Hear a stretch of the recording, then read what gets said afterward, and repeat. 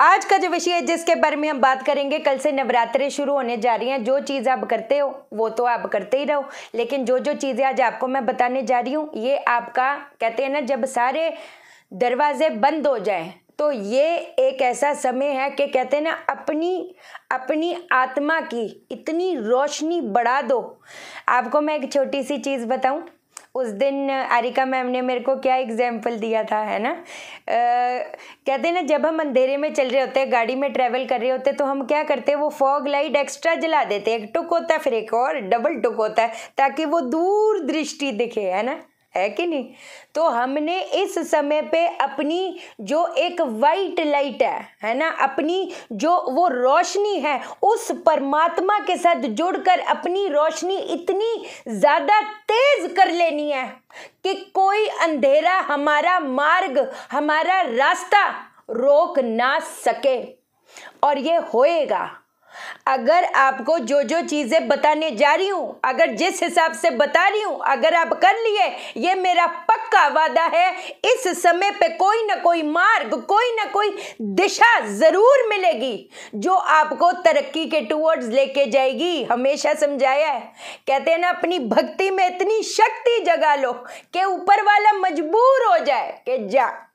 लेकिन फिर वही बात आती है ना, कुछ चीज़ें साइकिल होती है है ना?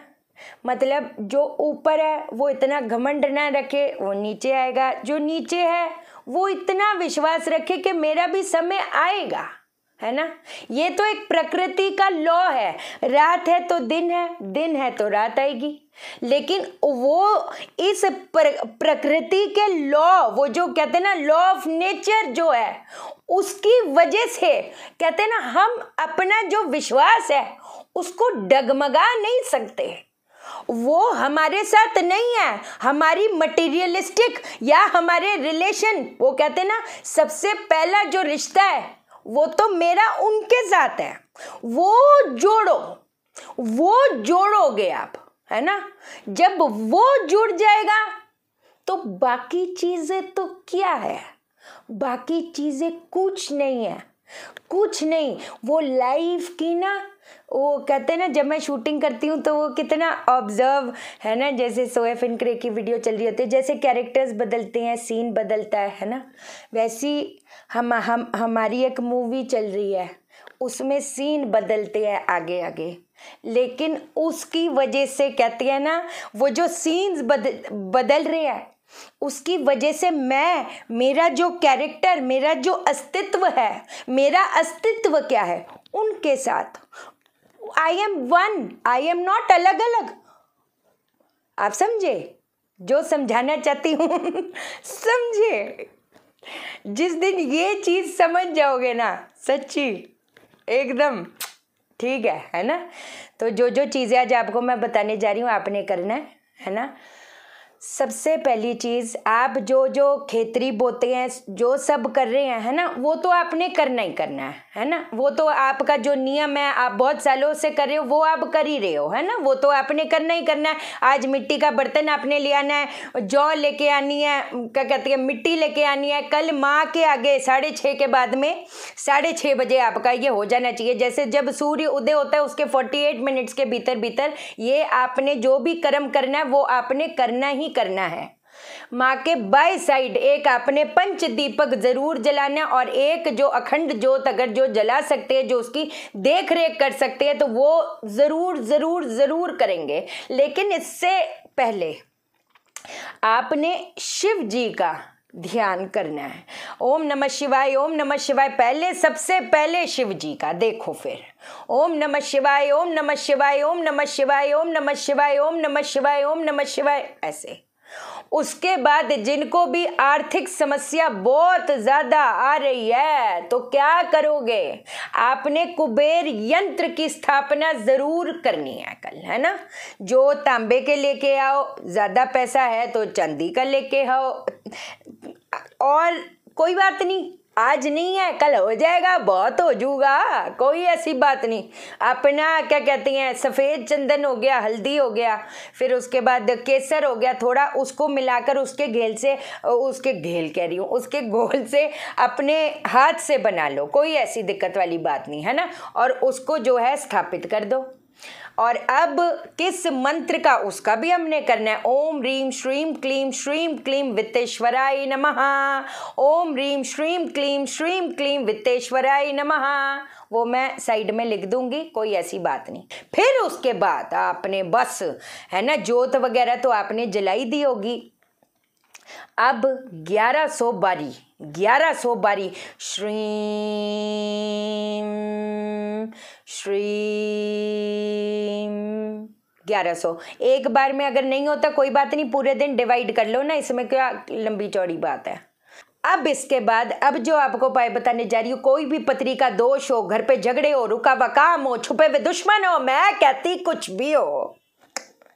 कुछ नहीं। ये करके देखो, पिछले साल भी बताया था, पिछले पिछले से पिछले साल भी बताया था और कसम लगे, जहाँ पर लोगों के हाथ खड़े हो गए थे ना कि यार इतने सालों से मेरे फादर साहब पी रहे हैं, काम नहीं कर रहे, उनके भी फादर साहब जो सालों से नहीं हुआ, उनका भी मार्ग खुल गया।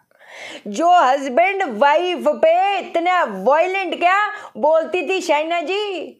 वो कहती है ना हस्बैंड का मुँह नहीं चलता, सीधे हाथ चलते हैं।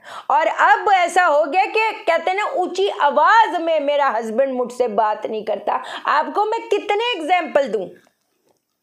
रात को करना है ना? देखो, एक मैं बात आपको बताती हूँ। आप दिन में करो, दोपहर में करो उससे कोई फ़र्क नहीं पड़ता। लेकिन अगर आपने रात की साधना नहीं करी तो किसी भी चीज़ का, आपके फास्टिंग का, आपके पाठ का कोई मतलब नहीं बनेगा।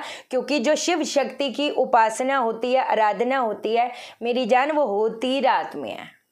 आप मेरी बात समझे? तो अब सबसे पहली चीज़, एक पान का पत्ता, एक सुपारी, दो लौंग, गाय का घी और देसी कपूर। ये आपने माँ को चढ़ाना है। माँ को चढ़ा दिया, ये रात में चढ़ा दो, सुबह भी चढ़ा सकते हो, कोई ऐसी चिंता वाली बात नहीं, है ना? ये वाला कर्म जो है, ये आप सुबह भी कर सकते हो, या आप रात को भी कर सकते हो, और उसके बाद क्या करोगे? ओम रीम नमा, ओम रीम नमा, ओम रीम नमा, ओम रीम नमा, एक सौ आठ बार। एक चीज़ बताती हूँ आपने ना जब मंत्र जाप करना है, आपने कुछ भी करना है, आपने एकाग्रचित होकर करना है। एकाग्रचित का मतलब क्या होता है कि मैं, जो मेरा ये ह्यूमन बॉडी है है ना?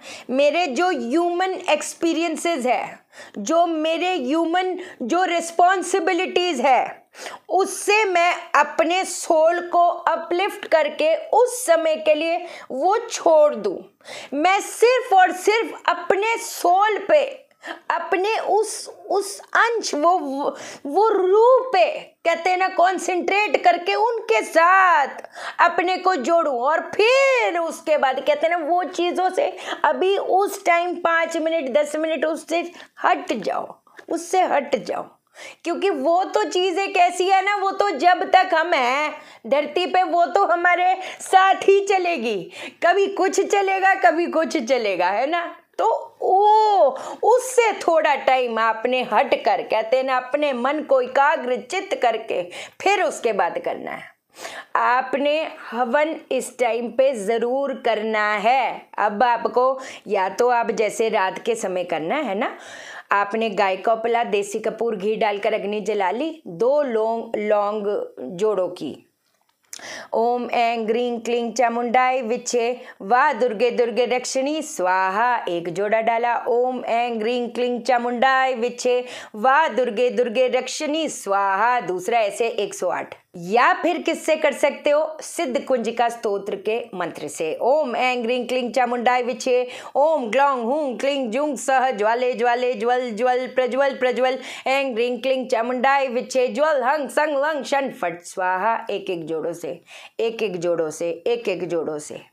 आपको एक बात बताऊँ, छोटी सी?